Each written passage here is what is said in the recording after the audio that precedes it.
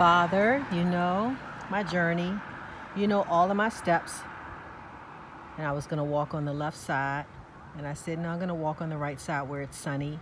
But I walked around the auto mechanic shop, auto mechanic shop right there with the big flag looking for a penny. I said, God, you gave me two pennies. Will you do it again? Will you give me a third penny? So the other day you gave me a penny on this side of the street.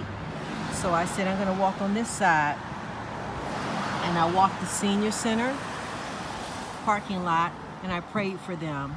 And instead of going straight up to the stop sign and turning left,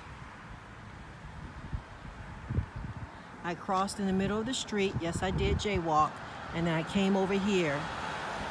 And then I said, you know what? I remember when I found a penny right there by that first cleanup truck. The first cleanup truck, I found a penny right there on the ground one day and I didn't have my phone. And I said, I'm gonna walk this parking lot.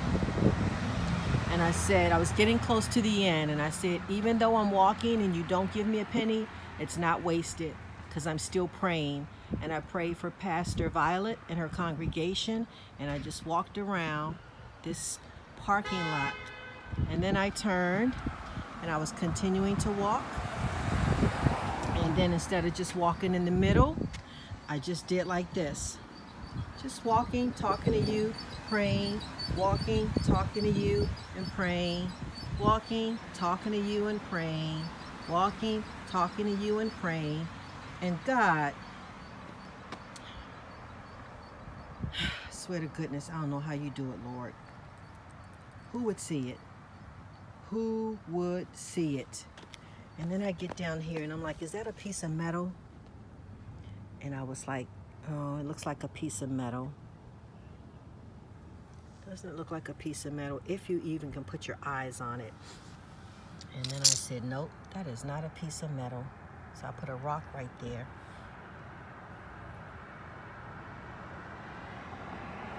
That is a penny.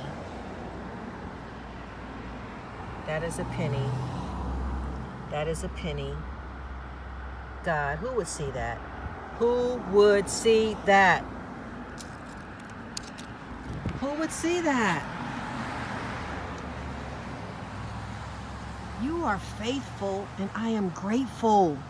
You are faithful and I am grateful.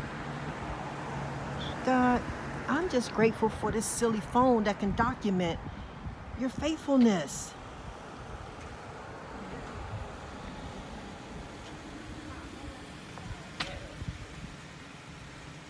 God, I'm speechless. I'm speechless. I'm humbled and grateful and speechless.